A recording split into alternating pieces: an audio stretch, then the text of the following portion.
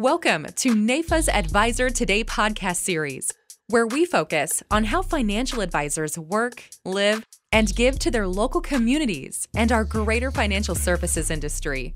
Now, let's get started with the show. Hi, NAIFA Nation. I'm your co-host, Chris Gandy. I'm here with our, our other co-host, Suzanne Carawan. Hi, Suzanne.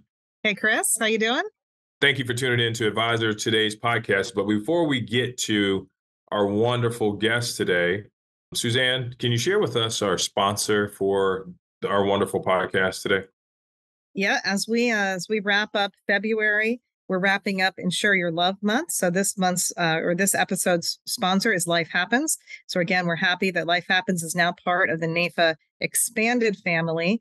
And if you're a NAIFA member, just remember you get special assets from Life Happens. If you're not a NAIFA member, well, you really should think about joining. You can go to belong.naifa.org forward slash join.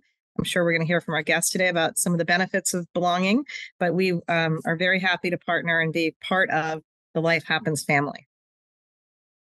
Thank you, Suzanne. Um, and those who don't know don't know that NAIFA has a, a family of, of relationships, and Life Happens is one that that is intertwined and and is is mission set similar to the ones which we have, which is helping the world be a better place for all all people and providing security and services for those uh, those families out there in America and Main Street specifically. So, with that being said, Suzanne, can you introduce our wonderful uh, guest for today? I look forward to having a a conversation with him.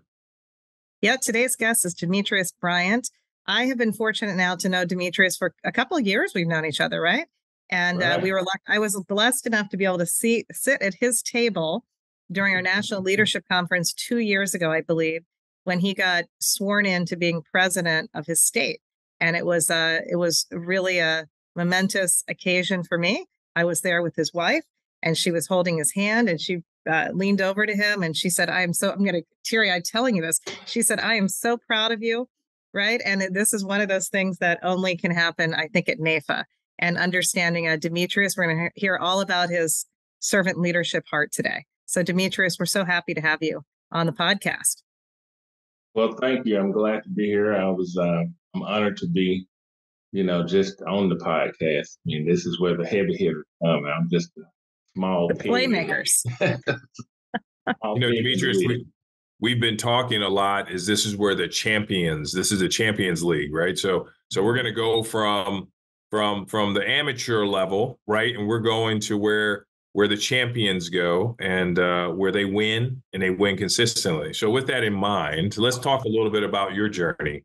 Um, people may have seen you, but they may not know who you are. The goal of this podcast is for people to kind of get to know you. So, can you share a little bit about how did you get into the industry and and and what attracted you to join an association like NAIFA?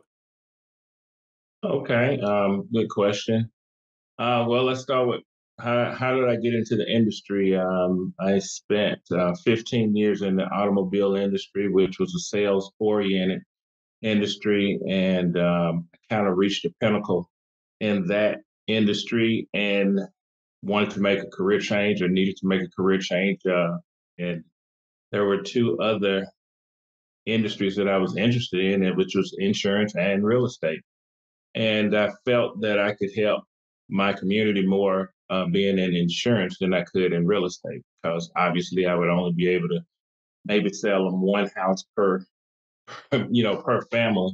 Whereas uh, in the insurance industry, I'd be able to do multiple facets and also teach them uh, about the importance of insurance. So uh, that that was my decision for insurance, and um, NAIFA became. Um, I was invited to a NAIFA luncheon uh, when I was uh, actually writing business for Mutual of Omaha, and uh, their office was uh, members of NAIFA, and they invited me out. And I walked into this room that was filled with people, and I said, "Well, this has got to be something to this because people just not coming for the lunch. It's just a buffet, so it, you know, it was okay, but it's just a buffet."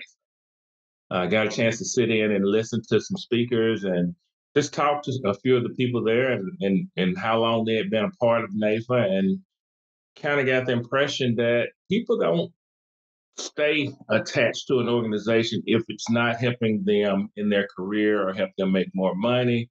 So I, I understood that this was something that I wanted to be committed to, and that's where I started. So, can you tell us a little bit about how long have you have you been in the business? And um, we know you. Well, I'll talk about leadership here in a minute, but can you share with us a little bit about how long you've been in the business, and then what is your primary practice? Is it money management? Is it multi-line? Is it is right. it just, tell us a little bit about your practice and where you practice at? Because I know most people don't know where you don't practice, know. but it's an important part of who you are and where you come from. Okay, yeah. Um, well, my practice is in Byram, Mississippi, which is um, just on the southern edge of the Jackson, uh, Mississippi. Uh, it's in central Mississippi. Um, but I, I, am a multi-line uh, insurance agency. I'm an independent, of course, um, and I've started this in 2011, Bryant Agency, and uh, it, has been an incredible journey to be here. Um, going on 13 years later, uh, I've had the opportunity to pick up three books of business uh, over those uh, 13 years, and it has helped me grow. I have uh, three full time employees here. Um, so, you, you know, it, it's the insurance industry in itself is, is, a great industry, but to be able to employ people and teach people uh, and, and, and how it can help them in their personal journey as well as their community and they how they can change lives and things like that. It, it's just that's more money than I could ever accept myself. I get the privilege out of helping people more than I do the money that comes with. It. Awesome. So so so that feeling of of of of being the catalyst for change in their lives right. is important. So so tell me a little bit about hmm. I mean you're in the South, right? So you're in Mississippi. Are right. you from Mississippi? Where are you originally from? I am. This okay. is it. Born and raised. Okay, so so tell us how different. I mean, I think some people sometimes don't understand the differences of of business. Um, as a mm-hmm. producer myself, I understand that there's certain places in the country where business is a little different, right? It's it's it's mm-hmm. different. Mm-hmm. You know, it's you know, if you're an outsider, it's you know, like no, like Chicago's one of those I got a guy, right? And so if mm-hmm. you're not from Chicago, can you do business in Chicago? Yeah, but it's a lot easier to do business if you're from Chicago and you're in Chicago. Um, right. Share with us a little bit about kind of the business acumen. If I was going to move down to your area, um, what are some of the the unique traits of doing business in the uh, the southern the southern district or or the Mississippi area? Well, I mean, we are friendly. We are the hospitality state. Some people may not agree with that, but we are actually very friendly. Um, I think one of the important aspects of doing business here in the South is just being able to look at people, speak to people face to face, and they want to know who they're dealing with. They want to feel that you've been here all your life and that you're concerned about something that if they pass along to their children and their children's children, they got someone that they can deal with and not have to be, oh, well, it used to be this company, it used to be this company. I don't know who my agent is now. And uh, so it's it's it's a real friendly environment. Once you can come in and sit down in front of a family and you can explain to them the benefits of what you're doing for them, I think it's a lifelong commitment then. No one's leaving you after that. And if you were moving here, I would suggest that you get out, get in with someone that's from here, that's deep rooted in the community in this area, and let them walk you into some houses and speak to some of the people and get to know some of the people. And from that, I think you can grow to be uh, just as successful. You mentioned the fact that you are um, you're an independent, um, multi-line, and you've been able to employ uh, some people. Can you share with us a little bit about your your your vision for your practice and where you're trying to go with it, and and why that's meaningful to you? Yes, um, of course, uh, being a LILI grad, um, and one of the things we we had to do in, in, the course was talk about you know your plans. What what what was the ultimate goal of Bryant Agency, and where did you want this to go? And of course, you know, early on when I started, I always thought about I wanted to scale the business to be able to be a Southeast um, United States. You know, think big. And uh, as I got into the industry and started to understand that that personal touch, I mean, and I can just for Mississippi, if just just doing business here in Mississippi has shown me that I don't necessarily have to be the biggest and the, and, and the brightest in this particular industry, but I could be the best here in Mississippi that they have to offer, and I could be so satisfied with that. So I, am I've, I've dialed back the thought process of scaling um, hmm. to be this, you know, enormous uh, Southeast company, Southeast United States company, but I want to just really be a fingerprint in every household in this area. And I want to, and in that, being that there are so many of us that don't really understand what insurance is, what it does, and the legacy that it can leave for generations to come.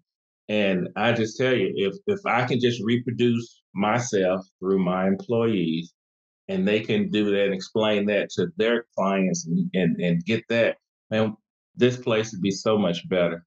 And I'll be hmm. okay with it being better. So how how do you that's interesting because how do you explain that that generational wealth piece of it? And then are your do your clients get it? I guess is I, I'd love to know how you're actually explaining that because it is really exciting and it, it's it's amazing that more people I feel like don't don't get excited by that and say I can make a difference in this long term piece of it. But how do you how do you explain that? How do you how do you connect with them to t- explain that piece?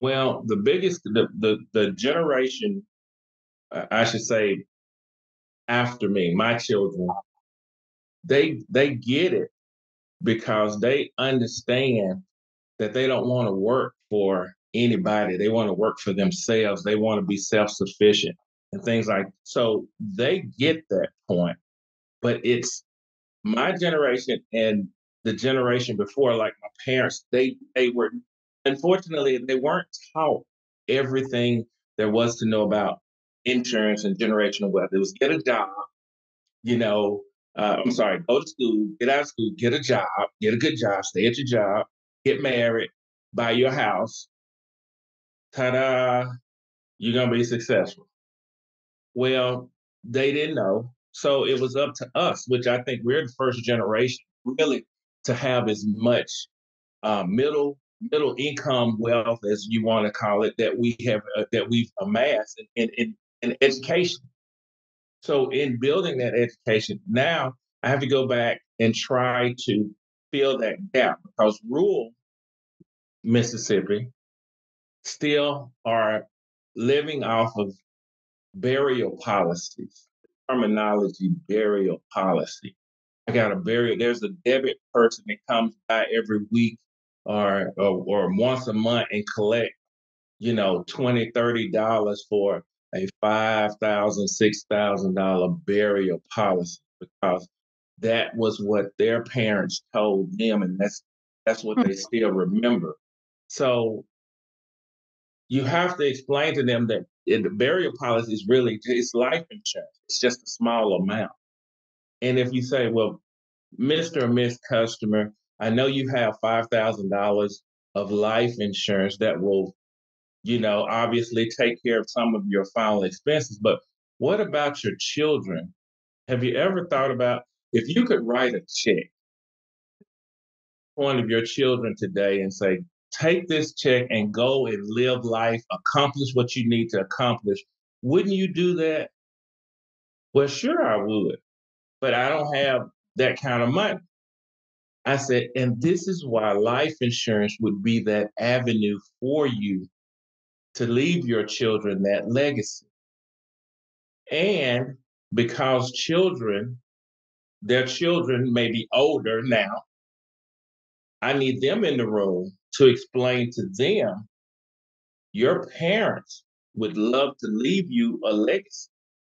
However, at this point in their life, they can't, but they are willing to allow you to write a policy on them that will allow them to leave that for you. So oh. now I got the children saying, oh, okay.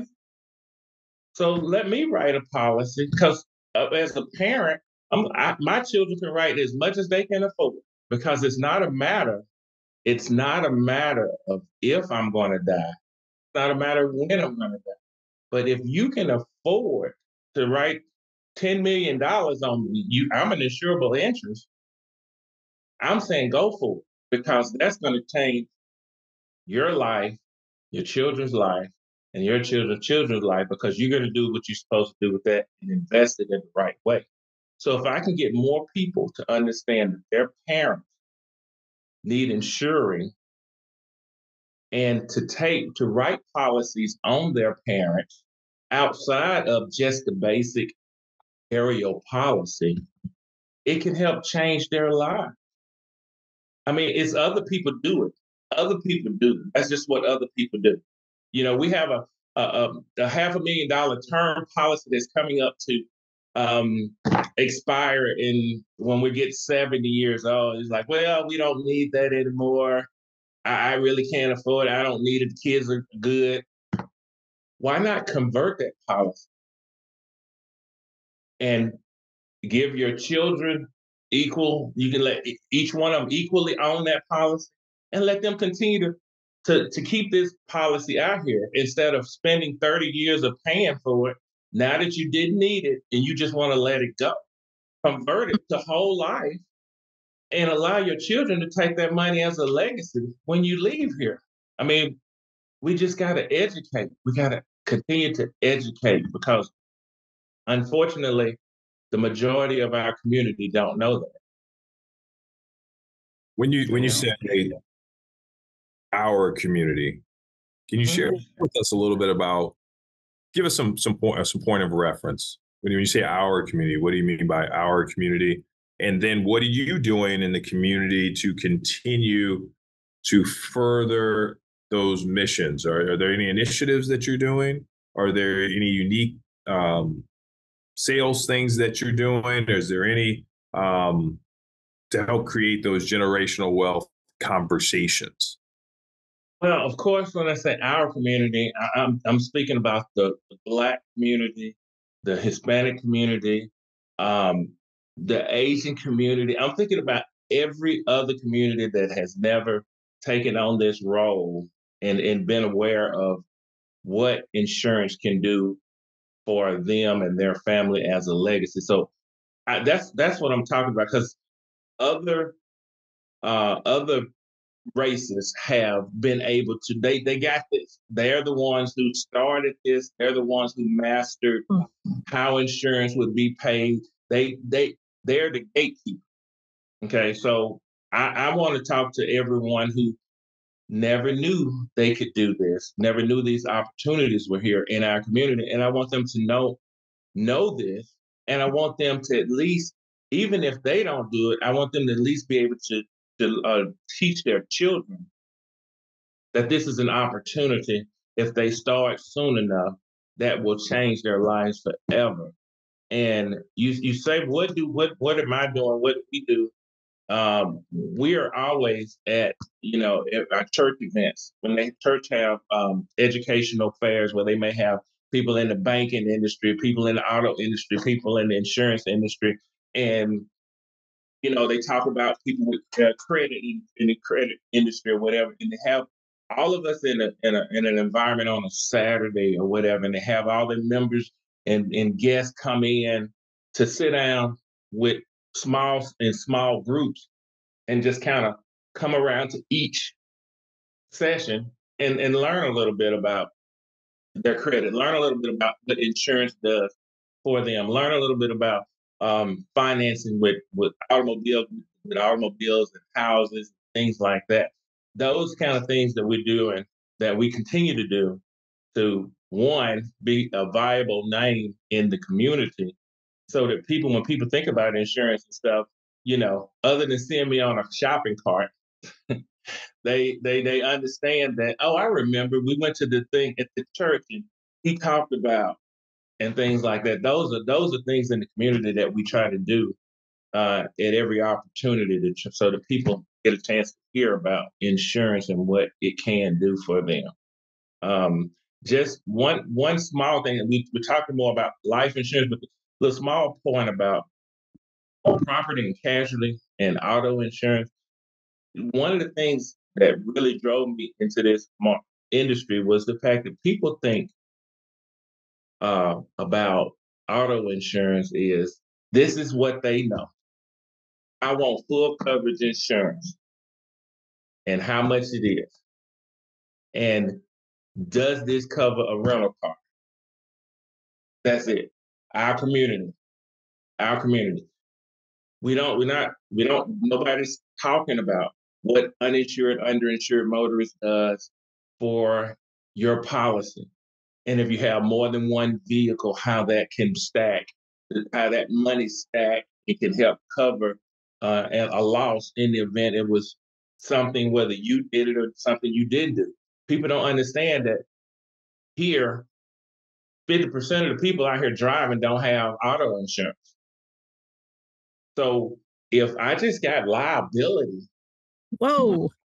I need some uninsured motorists because I need because the guy that's next to me or the lady that's next to me probably don't have insurance. And if they hit me and I got a mm-hmm. car that's paid for and it's just liability and they don't have any insurance, I'm in trouble. Mm-hmm. Uninsured, underinsured motorist takes care of that. So now if they hit you and they don't have insurance and you have that on your policy, guess what? Now you can get some value for your vehicle. And when you explain it to them, it's like, oh, nobody ever told me that. Oh, nobody ever told me that. I just, I just wanted insurance. Nobody explained it to me. So that's something, that's a lost piece of the insurance industry. I think, I think people are so busy trying to sell that they're, that they forget to inform because I'm I'm an advisor. I'm, I read contracts. That's what that's what I do as an insurance. I do I explain contracts. This is a contract with the insurance company, and this is what it's saying. And these are the coverages you have. And this and if, if this happens, call me. Call the office first. Don't call the 800 number. We don't right. know if this claim is really going to be worth filing because we don't know how much damage has been done. So what about the um, rock picks? And I go get my oil change. They say, oh, we can file this on your insurance. And I got this car, and my wife drives this car, and we can fix this on your insurance. And then when you come up for renewal, the insurance company says, well, we're either going to increase your premium or we're not going to rewrite you at all because you got a lot of claim activity. And you, I hadn't filed any claim. Every time you file, Every time there's a towing, roadside assistance, uh, comp claim for windshield, those are claims, but we don't recognize those as actual claims. So again, education for our community is so important and key, keeping them educated and keeping them on our books, at least for me. I, what I think is important there, though you said Demetrius, which you didn't say it, but I'm I'm going to articulate it, is that I don't think those contracts and all the things that are in all these pieces, most people don't understand what's in those insurance policies. It's right, pages after pages, like, okay, whatever, what's, you know, how much is per month? But what you're doing is you're giving them use cases, right? You're saying, if this happens, you do this. And the big piece there is just like, no matter what, call me. just right, call right. me. I'll be right. that interpreter because I, I, you know, don't feel stupid that you don't understand this contract stuff. Like this is your license to do that, but go ahead and just rely on me when when those situations arise. And of course, that you being able to translate that, of course, that does increase your the trust factor, opens the door to more conversations. But I think that's that's a nice um that's a nice peace of mind. That's a nice way to explain it right? And to tell right. the person, hey, listen, nobody understands what this is saying. Like I had to study for it and get licensed for it, but you call me and we'll we'll take care of it. Exactly. Exactly. You know, Demetrius, kudos to you because um, you know I, I think a lot of people on the sales side they're looking for again the next sale. Like, hey, I got to get to the next sale, get to the next sale. You taking the time to first educate. You know, two types of people in this world. There's the informed and the uninformed. And many times we ask people to make informed decisions on information they don't have. Mm-hmm. So taking the time to educate people so you can empower them to make educated decisions is super important. Um, and kudos to you for, for, for doing that. But let's talk about leadership, servant leadership for a moment. Let's shift gears. So we've talked about the industry a little bit. Um, you went to a meeting, but all of a sudden now you're leading a state. I mean, that's a big gap. That's a jump. Like so. So how do you go from going to a meeting, a luncheon, which uh, you know, Suzanne, we got to bring those back. You know, I remember when I first started, we'd go to luncheon, it was sold out. It's like this is where this is the, this is where all the champions, this is where all the players go, and we were able to put down our our corporate affiliations and go to go to these lunches and and learn and respect each other um, and do business amongst each other. So we need to get back to that. Um, uh, I think COVID did not help, but we digress. But let me get back to how did you get from point A to saying, "Hey, I uh, yeah, you know, I, I might, I think I have what it takes to lead," and then jumping into the role of leadership. Share with us kind of your journey and and and what were the key things that you looked at that made it pretty obvious for you that this was your path. Well you know honestly uh, i've i've i've basically excelled to a leader's role in everything that i've done. And uh, you know, honestly, going to meetings and, and sitting in and listening and having questions and asking questions and not really always getting answers. Um, you know, I started to think about, uh, you know, they talking about this board and getting on the board. And I said, I have a lot of questions. And, you know, a lot of times I'm not getting an answer or getting the answer that I think is, you know, really uh, to the heart of what I'm speaking on. Um, so maybe I'll try this board thing here and just see how this goes because I want to. Because if I'm asking questions, then there are other people that have questions and they're going to want answers too. So uh, during this journey, uh, after a couple of years, I just decided to uh, volunteer to be on the board. And the first year, I think I kind of just sat back and listened and learned. And after that, I was like, well, no, we're not doing that anymore. I'm not going for that. I'm not, nope, nope. This does not benefit the people. Nope, nope, nope. So I kind of became a kind of outspoken person. and they was like, hey, you know, maybe you ever think about going through the chair. I was like, what's the chairs? So um, we kind of got into the chair thing, and and and it's all because I want people who don't know to know. I want people who are, as you said, uninformed to be informed uh, about what this organization does uh, for the industry as a whole, as a whole, and and why we can't get more people to uh, become attached what this organization does. And um, I, I think we had some, again, we had some energy. We had COVID. And then we just kind of was, was at a standstill. And the whole idea for me has been to just trying to get the train moving again. Mm-hmm. So if we can get the train moving, the next person can jump on and we got momentum and uh, we can keep moving. Uh, so um, again, I, I, am just not a status quo kind of guy. I mean, if it if it don't fit, I'm not gonna force it, but I'm gonna ask a question about it for sure. So we know that uh, membership, as this will ring true to Suzanne's ears, we know membership, membership, membership is is such a vital role to a a a, a non for profit. You know, we are volunteers, right? And we have right. jobs, and you know, we choose to do this job. Um, we're paid in other ways other than monetarily, but so so so membership. What are what unique things is Mississippi doing? Because we don't get a chance to talk to you. I mean, you're in Mississippi. I mean, mm-hmm. you know, I played sports. And so, so at the end of the day, you guys may not be on ABC or ESPN. You guys may right. be ESPN two, or you may be on uh, you know Fox Prime or something. But you know, mm-hmm. syndic- syndicated TV. But you know, my question is, what are you guys doing that's unique to bring value and to increase the membership in Mississippi? Perhaps you could share some of those some of those gems, some of those secrets that you guys are utilizing and doing.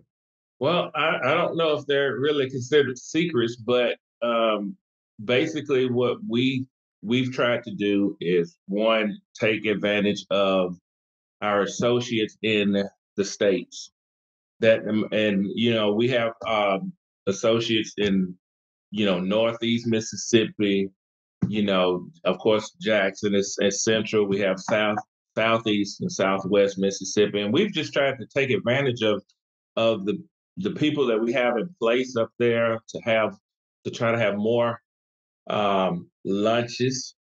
We try to bring speakers in to get them together to come in and say, "Oh, hmm, this is interesting." And I we, we did some different things. We've done some different things because the lunches were the things that we've always done. We started doing some things after work.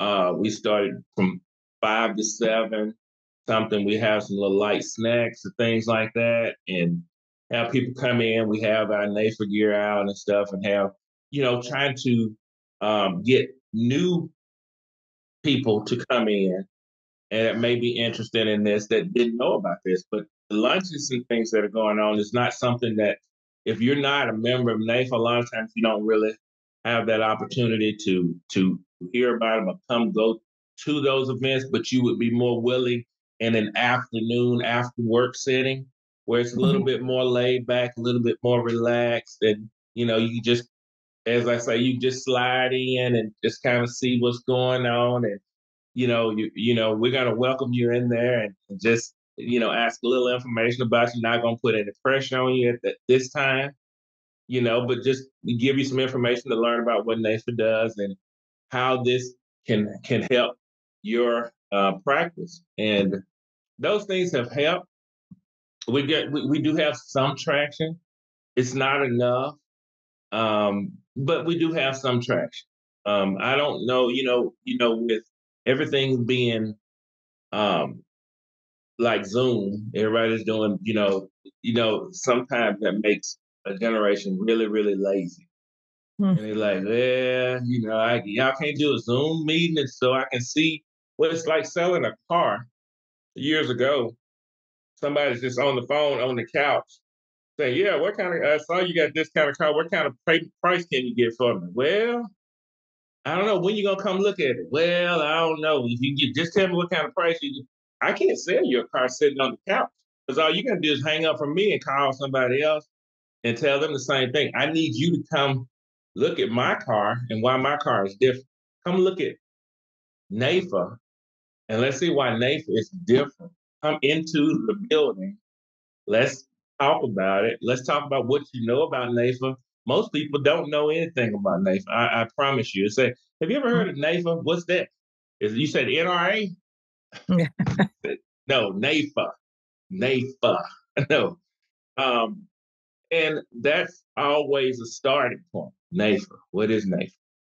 And then I explain to them what NAIFA is and a lot of things that it has done to help their industry and uh, what it would take. You know, why don't you come to a meeting or whatever? People are just uh, sometimes slow to want to come in, especially if they've been in the industry for a while, hmm. because they feel like they got it figured out. I already got, I got this figured out. I don't need this, this whatever this NAIFA thing is. I don't really need it. I'm good. Whatever they've been doing, I appreciate it because I'm still here. I still got my business. So I don't see a need or a value in me having to spend, you know, 800 bucks a year to do this. and uh, and and and honestly, the seasoned uh, agents that I have spoken with, that's literally what they're saying. Hey, I've been around for 15, 20 years and I'm doing fine. I ain't never been a member of NAIFA. And, you know, why I, why I want to pay you $800 a year to do something? I've been here this long. you know, I'm going to be here. So, you know, all good until the DOL shows up. Yeah, exactly. So how how did you get involved in the advocacy part, Demetrius? Uh, that you know, here we go again. They were talking about advocacy and you know what advocacy does for the organization. You need people on the front line. You need people out. You know, support. You know, like you, what you mean tell me we got people that are working behind the scenes for our organization, and how is that you know, how are they getting paid? How how does all of this work? Well, you know, we have a PAC, so we have to pay on the PAC and these are the things we have to do, and this helps them do that. Okay, well, let me. I need to contribute with the PAC and things like that. That's important. And then I got a chance to meet our lobbyist here, and um, you know, I kind of watched him uh, one uh, day at the Capitol, you know, kind of walking around hobnobbing, as I would call it, talking to all the different people. I was like, man, this guy's pretty influential. If if if he's, you know, if all these people, senators and representatives know him and and things like that, and they all saying the same thing, seems like we really need to be more connected. And so I decided to uh, up my game because I was really uh, underperforming in that in that area, um, and it's it's something that's important to the industry. It's, it's important to what I do, and I'm just one of those dudes that I'm either all in or I'm gonna be all out. So if as long as I'm all in, we all good. But if if, if I ever get on the all out side, you, you, you know, you better you watch better out. Come grab me. You better come grab me quick.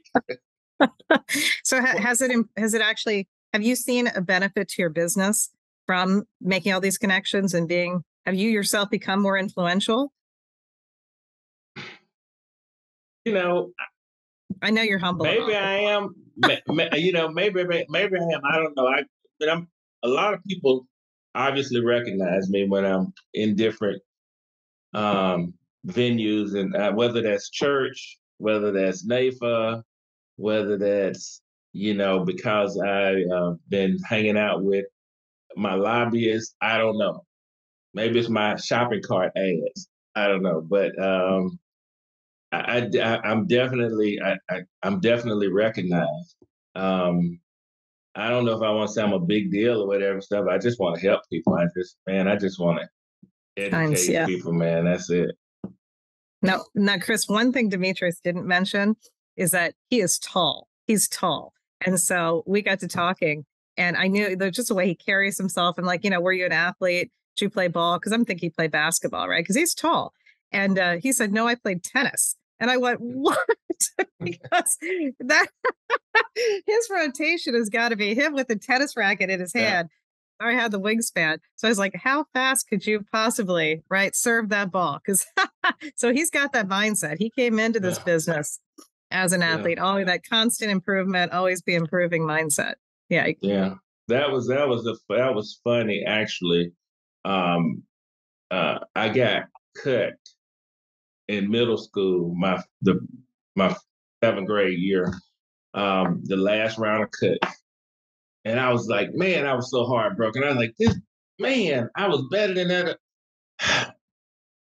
and I found um, at the park, I found a ping pong. They left a ping pong table, a, a paddle out at the park, and I'm messing around, and people were on the tennis courts. And I said, "Well, let me just see if I can hit a ball with this ping pong paddle back on the tennis court." Of course, I couldn't, but I was pretty decent without ever really playing ping pong. And I said, "Well, so I might be able to go out for uh, tennis. So they had tennis tryouts, which was after basketball. Went out, didn't even have a racket or anything. Of course, you know, uh, borrowed the coach racket. I'm left-handed. Uh, do a lot of things right-handed, but I'm left-handed, and served the ball. It went in, and that was it. The rest was history. It was tennis, tennis, tennis, tennis, tennis, and I, from middle school, high school, college, um, you know, I played up until um, I played two years after college competitively because I traveled and played around stuff, and and after that, um, I gave it up. But I was decent. Um, I was I was fairly decent in in tennis. Uh, yeah. That's a great story. you know that's that's an it's, it's interesting you know what you know kind of how you got here kind of that journey um if we looked at uh your you mentioned the fact that you you've never been one to kind of you know let's say you've you've challenged the status quo right mm-hmm. of what you see and and what you would like to see in the world and so mm-hmm. what do you see some of the challenges ahead that face us now as the industry is ever evolving. We've got AI being introduced into the industry. Right. We've got industry, we've got organizations, companies, banks now saying we'll mm-hmm. adapt financial services come in. You know, you can, you can go to the private room, eat the nice cookies, and we'll, we'll help you. You know, and, you know, you got a lot of people now, and now you have the direct to consumer programs where mm-hmm. there is no advisor. So what do you see some of the challenges that are out there for for advisors? Um, since this is advisor days, what do you see some of the challenges, and what are you doing to be ahead of those, be proactive on overcoming some of them? Well, the um, I think the biggest thing is know your clients, be uh, a, considered a family member to your clients. I said because no matter what comes out, if you have that relationship with your clients, AI is not going to take your clients. What will take your clients is you taking your clients for granted. Uh, I think it's never been more important for us to have those personal relationships with those clients like never before so, lot, so that they understand that you still have their best interest at heart on every aspect of their life, whatever you're managing for them, whatever, even if it's just, again, just call me first. You know, something as simple as call me first will allow you one extra phone call that you may not get otherwise. That could be the difference of someone deciding to stay with you or doing this online without an advisor because I think it might be a little cheaper. You know, you can't beat cheap, but cheap does not always be in your best interest. So I, I, you know, if you're interested in cheap, that's not, I'm not the right fit for you. But if you're interested in someone that's going to walk with you and be with you through every step of this journey from now till we leave here, that's who you that's who you need and that's who you got with me and that's what i sell i sell me and me being the person that's going to be able to take the time to walk through every process of every policy that we do with you and how this is an advantage to you and if you believe in your advisor you believe that that person is part of your family and has done nothing but try to do what's in your best interest you know, AI won't be it. Neither will uh, doing it online because Geico uh, Geico can't, can't cannot keep a customer when they're unhappy, especially when when I get through talking to them. I'll get a Geico customer every time because they can't even tell me who their agent is. Who's your agent? If you was in the grocery store, who's your agent? Did you point your your agent out? You mean tell me you paying people and you don't even know where your money going to? Why would you do that? Hmm. Oh, okay. Well, what you mean? You're paying someone to do a job that you don't even know who they are. You don't have a relationship with them. Why would you do that? Hmm. Okay. You'd be surprised that when people start, you can see the little hamster in yeah. the wheel turning. Like, Sounds crazy, right? You're like, yeah, why, why, am I paying somebody? I don't even know who they are and what they do. Yeah, you. And if I do the same thing, you know me. You see me. I'm everywhere. I'm on the shopping cart. We got to get a picture of the shopping cart. but those are the things that I think that that that will keep us relevant going into this next phase uh, of the industry. And I think it's it's so very important that we do that, that we continue to do that. And you know, I know a lot of our younger agents like to do a lot of stuff mobile. Uh, they like to do a lot of texting and a lot of and and if that's the group that they're doing it, that's not a personal relationship. Mm-hmm. The same way they can text someone, so can someone else text them too. And you could lose client in the midst of texting them because of how they're feeling that day when you're texting them, because that's how they're going to interpret your text message based on how they're feeling at the time they get that text message. Mm-hmm. Don't do it. Don't do it. You know, Demetrius, uh, a couple of things that I'll just comment. Um, I'll just say on on um, on price. You know, I've heard a couple of things. Price is only an issue in the absence of value, right? Mm-hmm. And and then so you know when people start shopping, they they instantly don't see the value in you being their person. I mean, it is what right. it is. Um, or like my father once said, everything that looks good to you don't mean it's good for you. right? sure. It's cheap doesn't mean it's the best thing for you, right? You know, yeah. or you know, he, he he you know he's from the south, so he says everything mm-hmm. good to you don't mean it's good for you. That's what he's. That's how he says. I, I, formalized it so we could bring it to the north, but you know. Uh, yeah. Um, I think the solution, you know, Demetrius, if we, if we go back to as leaders of people and movers of hearts. I mean, at the end of the day, that's what we do when we when we inspire people to be part of the NAIFA family. You know, the simplest thing is share this with someone else. You know, if we asked our, you know, when I I was in Chicago and I, I led our board, I asked them one thing. I said, "Listen, I need for you to to recruit. You have to recruit this many people." But if we ask to come to an event, you have to bring someone what we would find out is there's, and you have to bring someone who's not a member, you know, because we have a mm-hmm. tendency to the member, hey, listen, you want to go? Yeah, we're already members. Okay, got it. Right? They've heard the story. But now, if we have to prospect with someone, it's just prospecting, right? We have to look for someone who we have not invited. And if every event, if we had five events a year and we invited someone who was not a member, NAIFA would look completely different than it does today. As simplistic as that sounds. Right. That, it is. simplistic as that sounds. That mm-hmm. changes the environment. It changes the people that hear the message. It changes.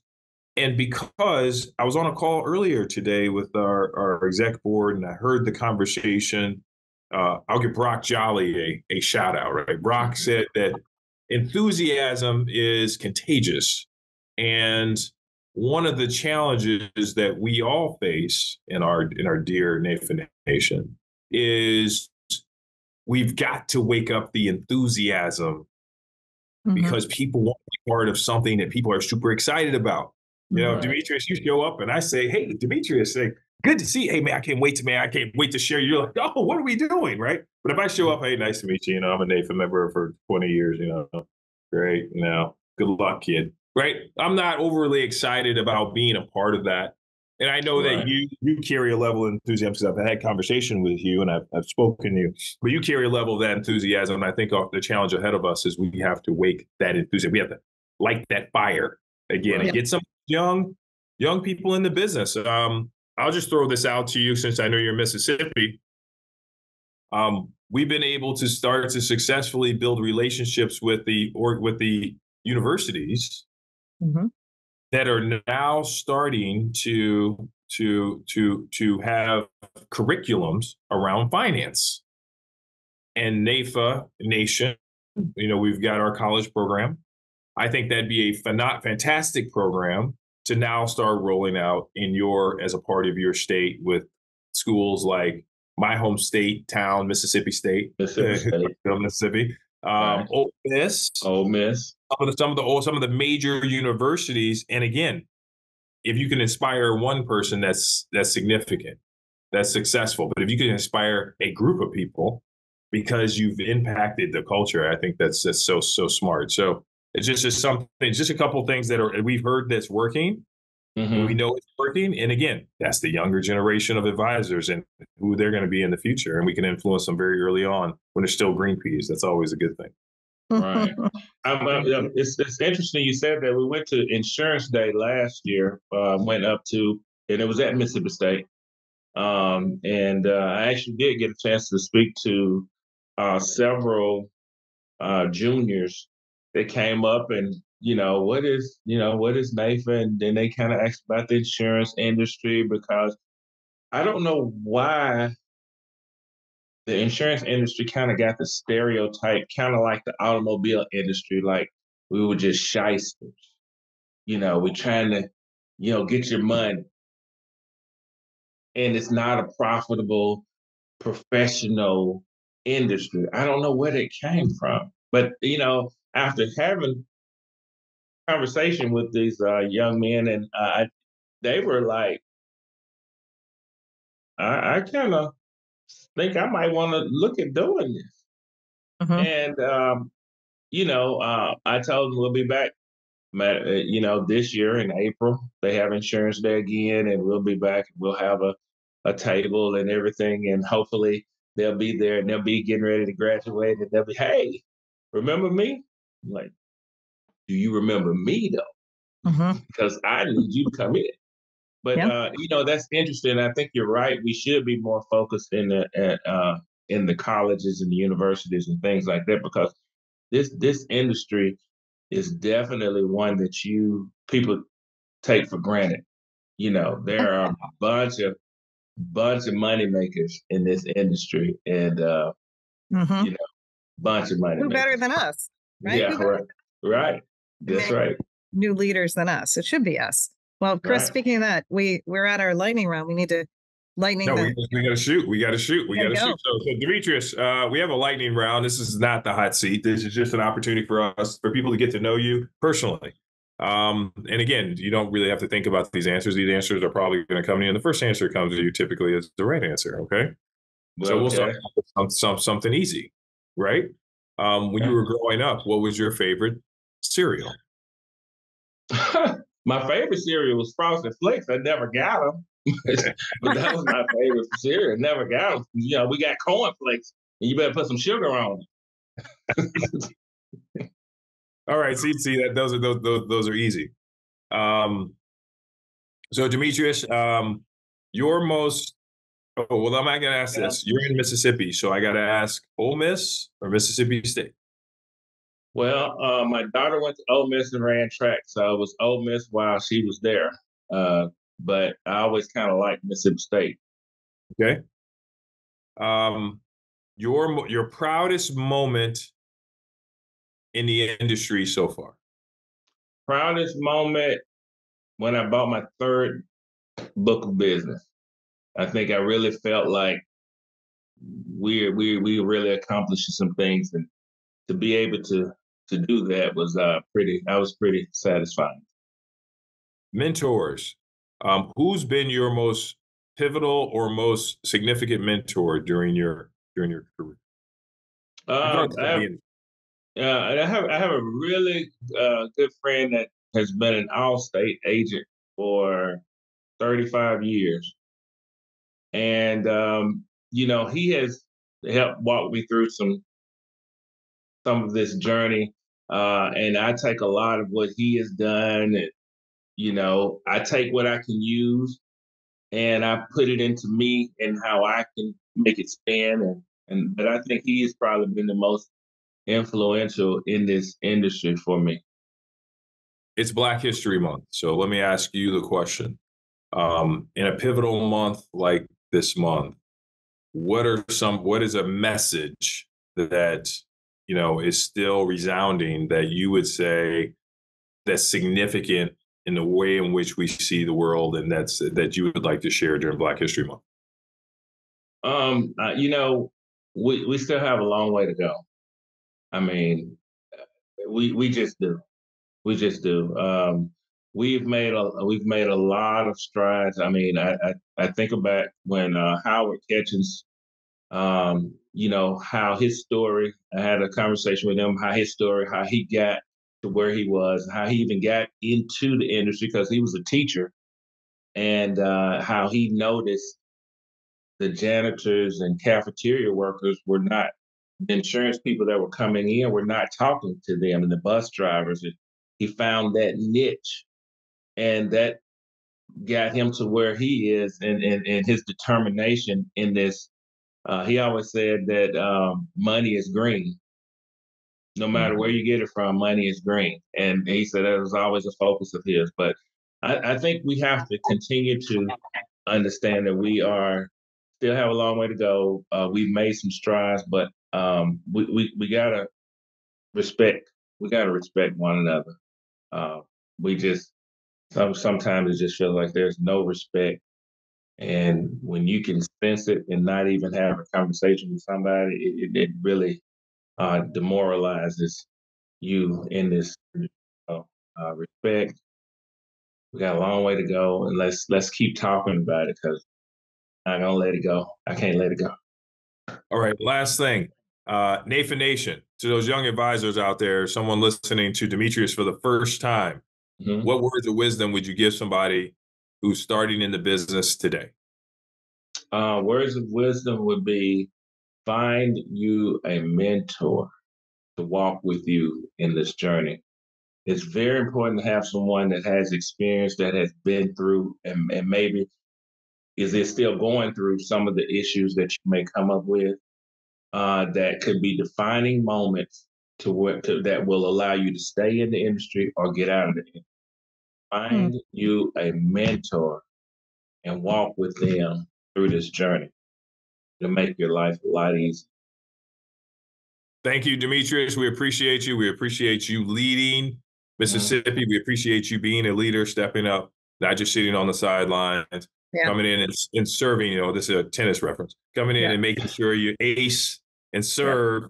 You know, uh, a, per, a perfect game and uh, continued success to you. We appreciate you and thanks so much for being on the podcast. Suzanne, do you have anything before I close this out?